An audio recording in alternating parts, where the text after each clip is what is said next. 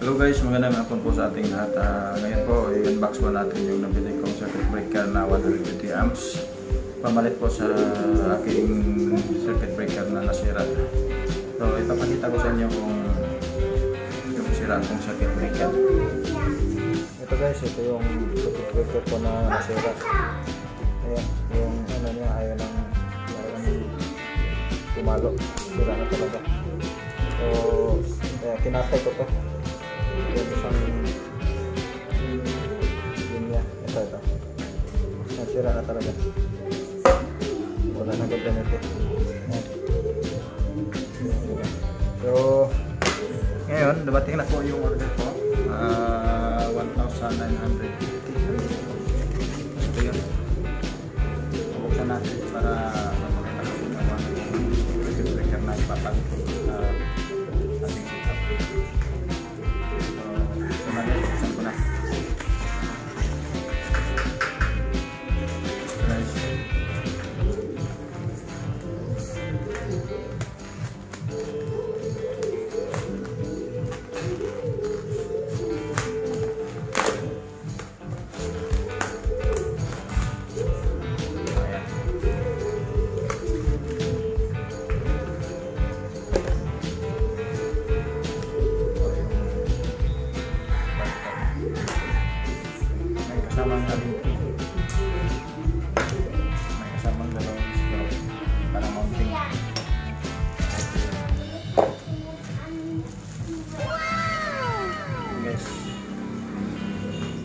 Ito yung nabili ko.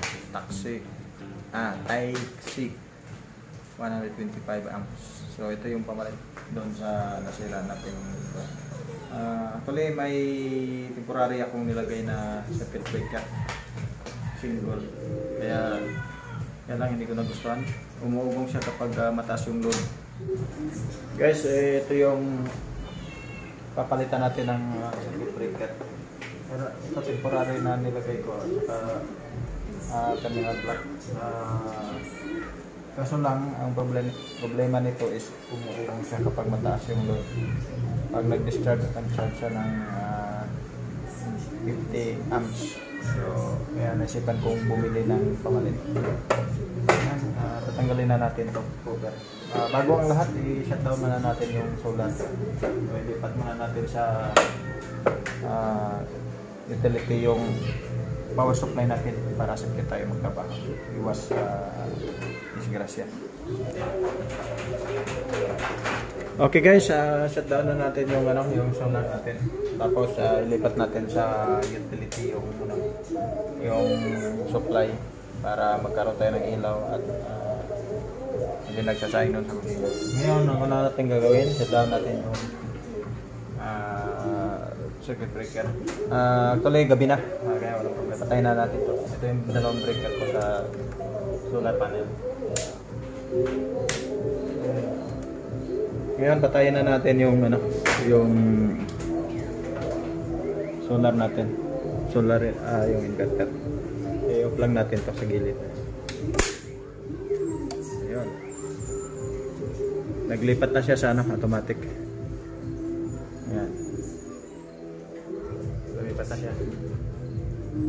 Itong breaker na ito sa ano sa solar, ito yung sa main.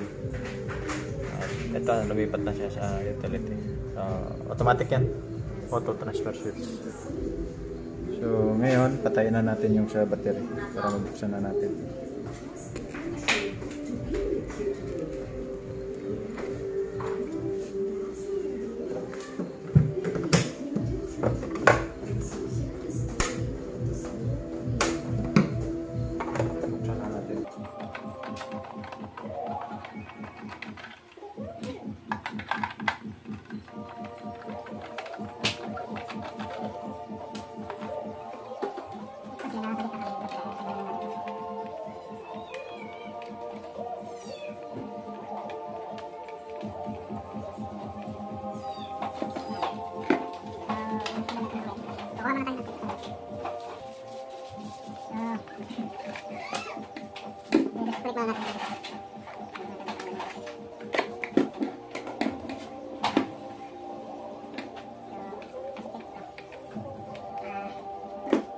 course. Of course, magsalamin muna tayo para safety sa spark potential. Baka makakita tayo ng maraming bituin.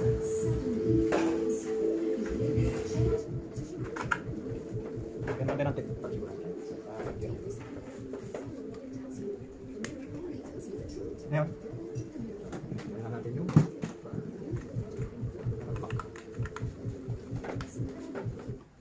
Ito yung pamalit ko. Kaso lang may haming. Naghahaming siya, maingay. Kahit sobrang hipit na yung pagka-terminate. So, yeah, palitan natin na ba? So, ito yung ipalit natin.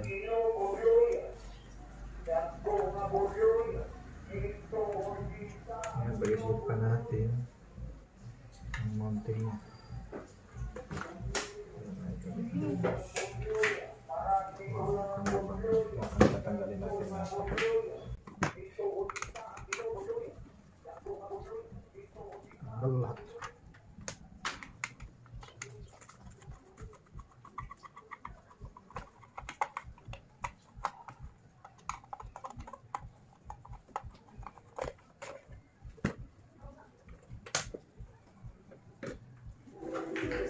Ngayon guys, kailangan natin i-modify yung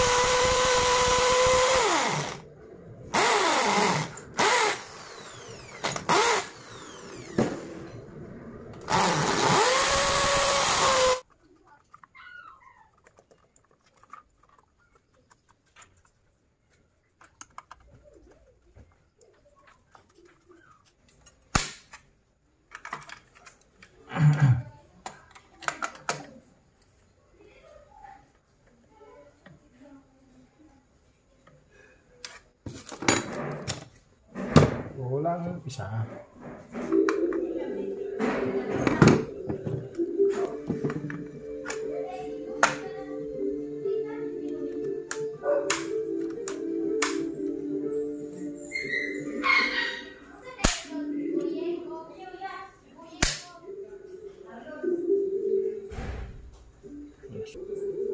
Ayan guys, natapos na na may mounting yung breaker. Ang gagawin natin.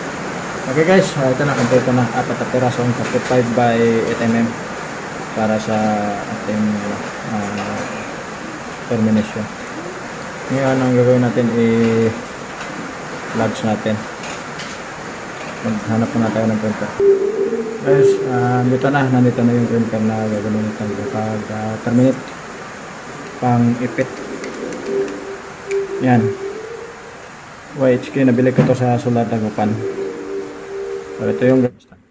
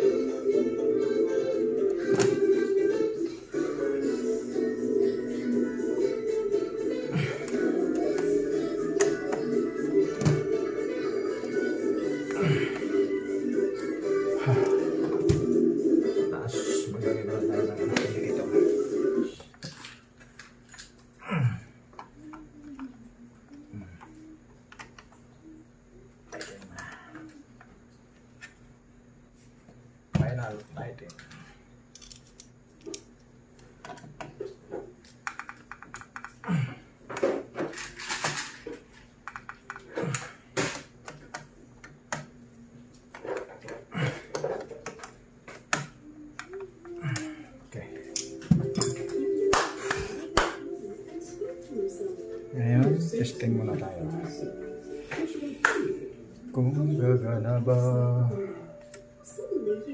One, two, three. Ayan, testingan mo natin yung voltmeter. One, two, three.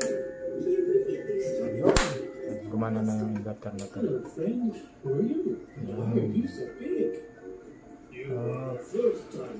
Ayan. Off. Yan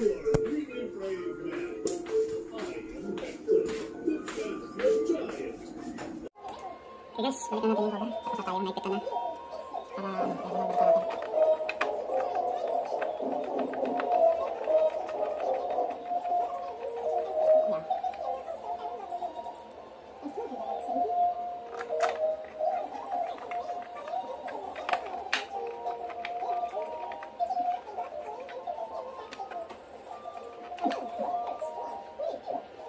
guys, tapos na tayo. Nalagyan na natin yung cover.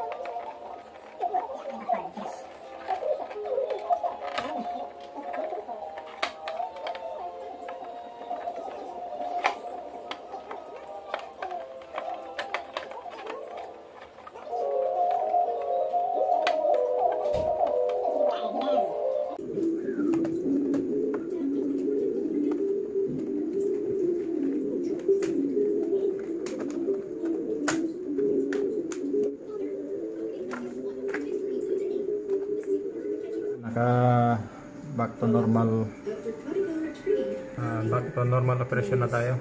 Ayan, naka solar mode na tayo. Ayan, gumagana na yung ano. Ang battery natin ngayon is ah, 277 ampere. So, kaya pa itong magdamag. Ah, gamit natin ng aircon. Ngayon, patayin muna natin itong no, do. Walang gamit ito. Ito yung utility main ko. 63 amps. Yan, walang load yung ano, Hondo. Patay na natin, walang gamit to. Kasi enough yung battery natin. Oh, okay. Ayan, naka-solar mode na tayo. Yung pump natin na okay na yun. So, ibalik na natin sa ano, yung ano, para bukas na tayo mag-switch yung PB natin dalawa. Yan yan kompleto na. Okay. Ito yung sa washing machine patayin na natin walang ganito sa labas to. Okay guys. Maraming salamat guys sa pagpapanood. Uh, tingnan natin yung brand. Yan yan ang bagong nabili kong ano, circuit breaker